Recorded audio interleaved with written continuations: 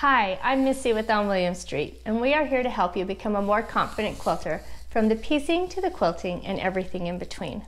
We are here to walk you through some tips and tricks to put together our Razzmatazz pattern. So the first thing you're going to need to do to sew along with this is head to our shop and grab your copy of Razzmatazz.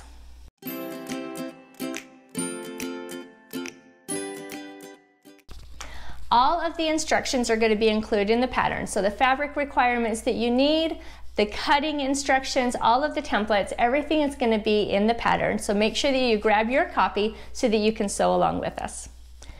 And the first thing that I'm going to walk you through is cutting out the templates. Since Razzmatazz does use some larger template pieces, I want to show you some tricks of what I do to cut out those larger template pieces. So don't worry about making sure you have all your fabric cut out before you start. So the first thing that we're going to do on this quilt pattern is we need to make sure we've got all of the templates printed out. Because of the size of the templates for this pattern, it's gonna go together really quick and easy, but we do need to make sure that we take a couple of extra steps in the templates themselves. So after you've got the templates printed out, before you cut them out, make sure you're lining them up and taping them together. And the reason I say before you cut them out is because not only do you want to line up the lines on the template itself, but you want to line up the lines on the paper um, for each of those templates. So make sure you refer to our diagram for laying out your templates, tape them together. I like to tape them on both sides, just helps make them a little sturdier. And then we need to cut everything out. So typically when we use when we do a pattern with templates, I tend to cut the templates out in chipboard just because it gives me something that's a little sturdier than just paper. But because, again, because of the size of this, I don't really have pieces of chipboard that are big enough and I'd have to be taping chipboard together and everything. So I'm just gonna go ahead and use the paper templates for this. But I wanna show you a couple of tricks that you can use to help make sure that you're getting your templates cut out correctly. So one is to just refer to it just like a clothing sewing pattern. So grab your pins, go ahead and throw a couple in here to help hold your template in place. And then you can use your ruler and your rotary cutter to cut along that. Or you could just get your scissors and cut right along that just like what you would on a sewing pattern. The other option that I like to use is, is some type of weight. So these are these are actually magnets. It's a little um, bit of there's small tile pieces that were left over from a house project years ago but I've turned them into magnets but it adds a little bit of weight. There's also lots of other things that you can use to weigh down patterns. I know people use um, a lot of different things that you can find in the hardware store. This seems to work. So just this just kind of helps hold it. It's not like really heavy but it's going to help hold things in place a little bit as you're going around the pieces so the other thing that I really like to use for some of these pieces is a smaller rotary cutter. So we use our big rotary cutter for a lot of things, but when I'm doing a lot of template cutting, I like to use my smaller one. It just, the 28 millimeter versus a 45, it's, it, I feel like it gives me more precision. It could be a personal thing, it, it just works for me, so find what works for you, but it, I do feel like it gives me a little bit more precision. Now along this long piece though, I'm gonna go ahead and use my larger rotary cutter and I'm going to use my ruler to help get that really nice straight line. Because we've got our weights in, um, in here to help hold our pattern down, I'm actually gonna put the ruler right along the side of the pattern and then cut it out. So sorry, I'm with filming, I'm a little bit of an odd angle, so bear with me. So that's going to get that, that first cut all the way through. Make sure we actually went all the way through. Looks like there's a little spot that got missed before you pull your pattern off, before you pull your fabric away. Okay, so now you're gonna be working with a smaller piece. And again, like I said, when it's these smaller areas, I really like to use my smaller rotary cutter. I just feel like it gives me better precision. So for this, I'm just gonna use my fingers to kind of hold down that because these are just gonna kind of get in the way with what I'm trying to do here. So just hold it down and just go right along your template. And again, we're gonna just use the ruler on this side and I'm probably gonna use my rotary up along this edge as well because it's got a slight curve to it, so I can't use my ruler. So when I can't use my ruler, I'm definitely going to use my smaller rotary cutter. But those will just kind of give you some ideas, some suggestions as you're cutting out your templates before you get ready to sew this pattern together. Okay, now that all of our templates are cut, we are ready to start sewing these pieces together. So the first thing you're going to start with is you're going to need your medium, um, sorry, your white template C pieces. We're gonna sew those to the bottom of the medium turquoise template B pieces. So these should line up nicely right across that bottom. You do have a very, very slight curve on these, so we're going to pin these together just like what we just like we would a typical curve. The only difference is I'm not necessarily creasing that center point just because the size of the piece is, is small enough that it's not really necessary. So if you would prefer to crease that center point and start there, um, absolutely go ahead and do that. But I'm just gonna go ahead and pin each side. And again, when you're pinning your when you're pinning curves, you want to make sure that your sides are lining up a little further down um, past that seam allowance just to help keep things nice and nice and flat. And then this should just line up really nicely because of the size. I'm going to throw one more pin in the center just to kind of help keep that slight curve in place. And then we're going to go ahead and sew a quarter of an inch seam. So again, we're going to be sewing the white template C to the bottom of the medium turquoise template B pieces. So you should end up with eight strips when you're finished. Okay, so when pressing this, again, this is gonna be one of those instances where you're not gonna press to the light side. You're actually, you are actually are going to press to the dark side. So we wanna make sure that we're pressing this seam up. It's going to lay definitely a little bit flatter when you're pressing to the top part of the curve than it would if you're pressing to the bottom part of the curve. So make sure you're pressing that seam up when you do that to our template D pieces. So you're going to have a total of 12 of these pieces of two different colors. So you, this, you'll just follow the same process for all of them. And then we're going to also need our template E white pieces. And again, we're gonna do just the same process. We are sewing a very, very slight curve and this one is going to be, E is going to be sitting on the top of D. So in this case, because it is the top of the curve and it is a little bit bigger area, I do wanna make sure that I crease that center point so that I can get it to line up nicely. So you're gonna fold both pieces in half and just do a finger press in that center. So we can then just line those up. They're just gonna sit right there in the groove. Stick a pin in there. And then when we line up the sides, make sure you're kind of manipulating a little bit so you get it nice straight down the side.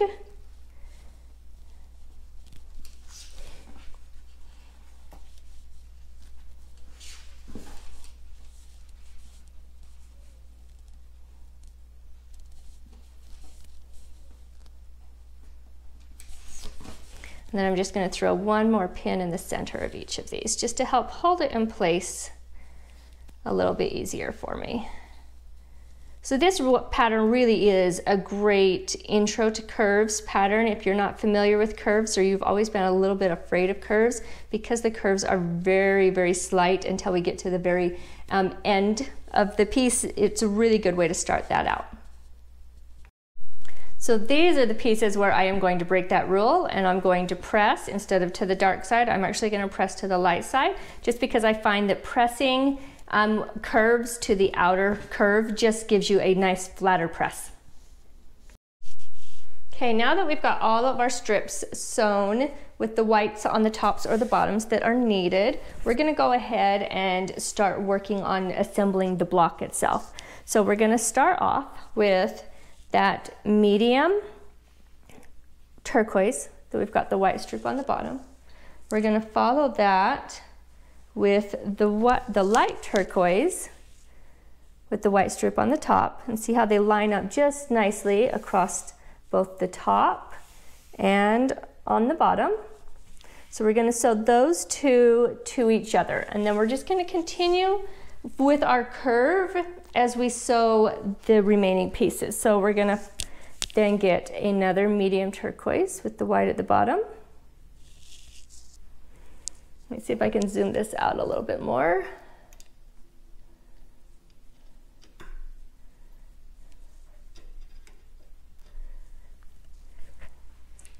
The nice thing about this, this quilt is we are making some nice big blocks, so sewing that final curve is going to be easier. Let's see if we can, we're gonna go with the, then we're gonna add the red strip with the white across the top. We're gonna add our dark blue strip. Now this one doesn't have any white on it. This is just um, the full strip out of the fabric. And then we're going to end with one more red strip and we're running out of space on the table um, with the, the white across the top. So this is gonna give us a nice arch and this is going to be the one of the blocks. So we're gonna go ahead and get this arch sewn together and then we'll sew some, some circles to the top and bottom of the arch. So we've got our nice big arch all put together. This is gonna be a quarter of our circle. Now we're going to go ahead and get the rest of the square put together. So, okay, so now that we've got our arch all put together, all of our strips pieced to each other, we're ready to go ahead and finish adding the rest of our, our curved piece to turn this into a square. One thing just that I want to note on the arch itself, and this is really just a preference, but I did go ahead and I pressed all of the seams going the same direction.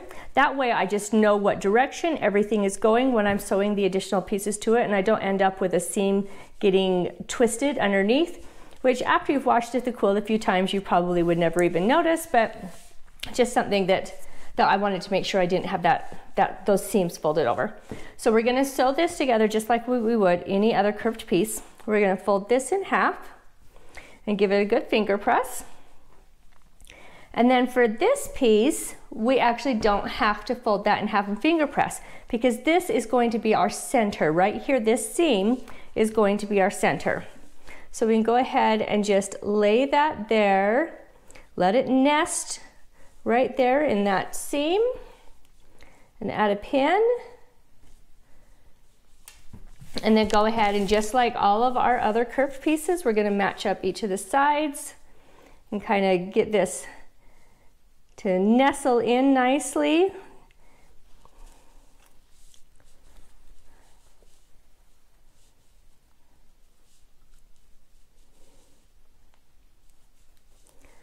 So pin up one on each side first. Make sure that you're lining your sides up so that they stay nice and straight. That will help make sure that your finished piece is also nice and straight coming out the other way. And then I just have to stretch this a little bit to kind of work this in. And I'm gonna go ahead and put a pin in each of these seams because I don't want the seam to pop open too badly on me with the little bit of stretch that you, that you have to do with this being a curved piece. I wanna keep those seams from popping. So just watch that as you're, you're stretching that to make it fit. Just make sure you're not popping your seams.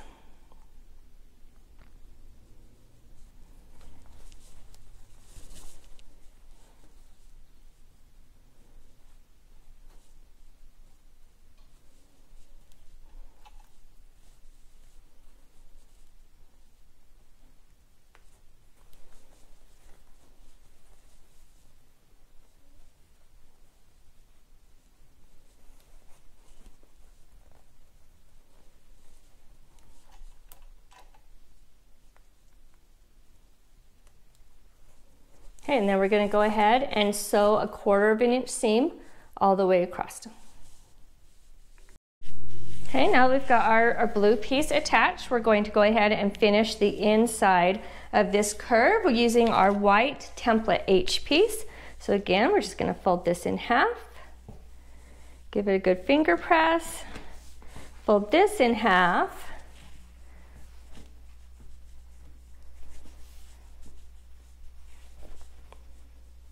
And if you want to fold it in half before you sew it to the piece, might be a little bit easier to get that in half without adding all of the additional bulk of this block with you. Just make sure when you're ironing it, don't iron the finger press on the bottom, and then you'll already be set to go on this piece. And then we're gonna go ahead and line these up. Let that nest right in there. And then attach our sides and I'll probably throw a, a, pin in the center as well just to kind of help hold this in place. Now that you're getting to a slightly smaller curve than what we've been doing, I always like to make sure that I am sewing with my needle down. That just helps me so keep the fabric in place so that I can easily lift up the, the pressure foot, kind of readjust the fabric if I need to to make sure I'm not getting any tucks in there, but my needle is gonna stay right where it needs to be so I'm gonna be able to pick right back up where I need to to continue that seam.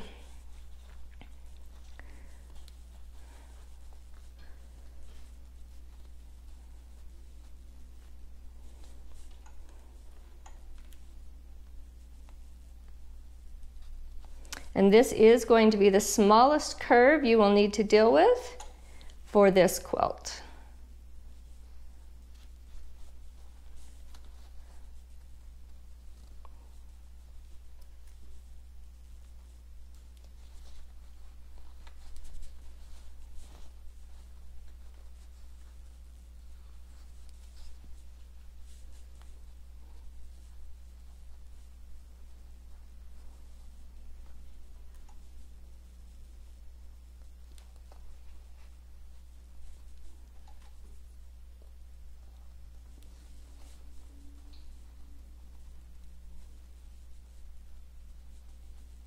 Okay, we've got everything ready to go. We're gonna go ahead and sew our quarter of an inch seam along this line.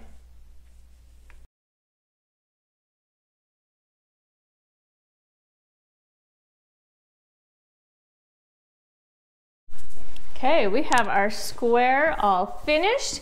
It's nice and big. You can get the finished size of this block inside the quilt pattern. And now you're just going to go ahead and repeat that exact same process for three additional squares. After you've got that, um, after you have all of them completed, it's really simple after that. You're gonna sew the four squares together to make one large circle and then you're gonna be ready for your borders. Now, if you have any questions on how, on the best way to attach borders, we have another YouTube video that goes over borders in detail, and we'll go ahead and link that here for you so that you can find it easily. So just a reminder, you do need to make sure that you have a copy of the Razzmatazz quilt pattern to sew along with the videos that we've just gone over. So make sure you head over to our shop if you haven't already and grab your copy. And while you're there, check out the other fun projects that we've got going on to add to your queue and happy quilting.